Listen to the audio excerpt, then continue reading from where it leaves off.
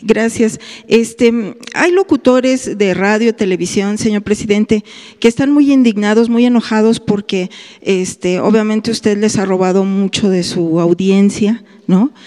Pero están a tal grado indignados, no nada más con usted, sino también con los que venimos aquí.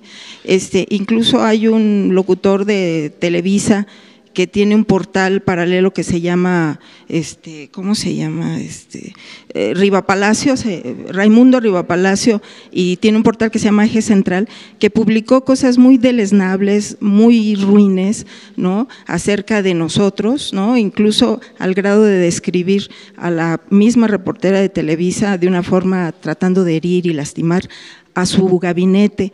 Entonces, esto, estos eh, líderes de, opinión, que antes eran líderes de opinión, están muy indignados haciendo un periodismo muy deleznable. Señor presidente, ¿cuál es su opinión al respecto? Y también, eh, desafortunadamente, bueno, se corre eh, la versión de que usted va a tratar de rescatar a estas televisoras, ¿no? Algunos periódicos que han perdido mucha circulación y que están despidiendo gente.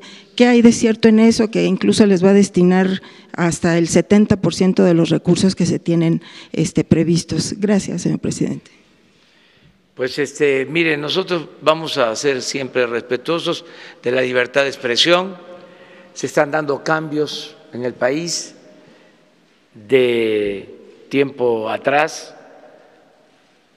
No hubiese sido posible el cambio que estamos ahora llevando a cabo, este cambio de régimen, no solo de gobierno, sin eh, el apoyo de los medios de información convencionales y de manera muy especial de las redes sociales.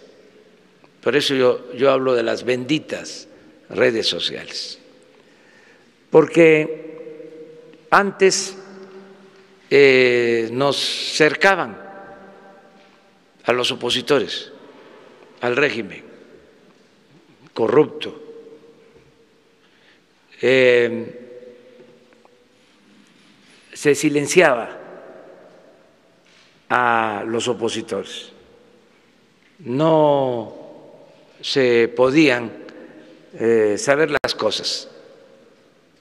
Todavía hasta hace muy poco tiempo la gente no sabía de que se había comprado un avión para el presidente que costaba siete mil millones de pesos. Un avión que no lo tenía en ese entonces ni Obama. Y muchas cosas se desconocía, porque no le convenía a la clase dominante que se garantizara el derecho a la información. Entonces ahora eh, eso es un avance importante, que eh, haya información, porque sí se hablaba de garantizar la libertad de expresión, pero en vez de usarse esa libertad, se negociaba esa libertad, se condicionaba y se hacían jugosos negocios con el manejo de la libertad de expresión. Todo eso ha cambiado. Entonces, implica ahora que todos tenemos derecho a manifestarnos, que nos escuchan más, que la gente tiene más información, que ya no hay temas vedados, que ya se acabó con la máxima de que no se podía tocar al intocable. ¿Se acuerdan de eso? Ahora hay más libertades. Entonces, Todos tienen derecho a expresarse.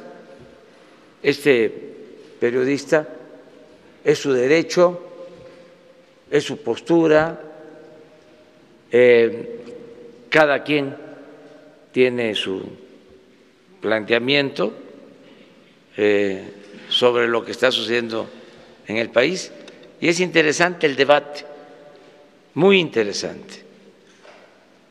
Nada más que haya respeto y que este, no se pase de eso. Son importantes los medios, ya lo dije en una ocasión aquí, nosotros tenemos que eh, ayudar a que existan los medios de información, que no fracasen, que este, puedan ser al mismo tiempo eh, fuentes de trabajo para comunicadores. Se cierra un medio de comunicación, se quedan sin trabajo quienes cumplen una función social que es importante, la de informar y cuidar eh, a los medios de comunicación también como empresas eh, tener esa visión y es la función que tiene el Estado. Malo sería que eh, se utilizaran los recursos del Estado para eh, comprar lealtades, comprar conciencias. Eso nunca lo vamos a hacer.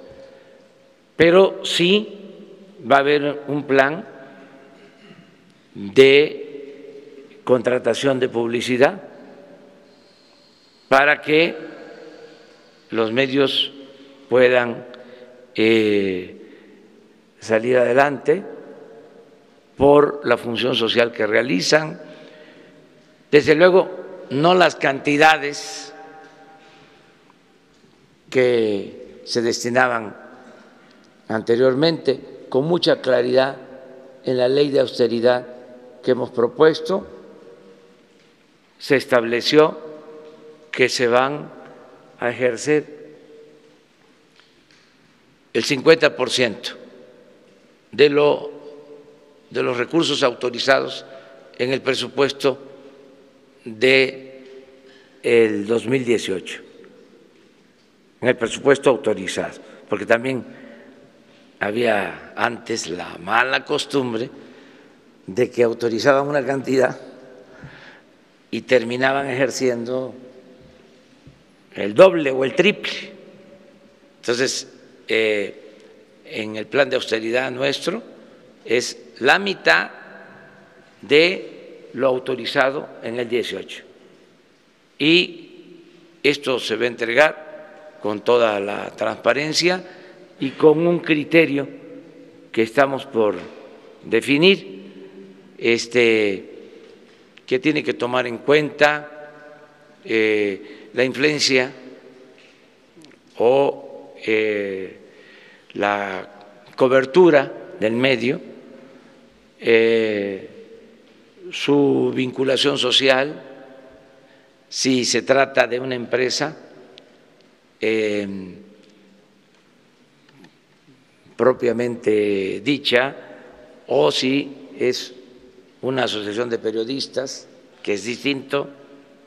Y sobre todo, señor presidente, que se haga periodismo que construya, porque durante los últimos 30 años se hizo un periodismo a modo, ¿no? de robo, de, o sea, de corrupción, y, de alguna manera los, los medios eh, de comunicación también tenemos una función social muy importante. Entonces, que se haga un periodismo que construya. Vamos a ver eso este, siempre y cuando se garantice la libertad de expresión en general. Entonces, sí estamos trabajando en eso.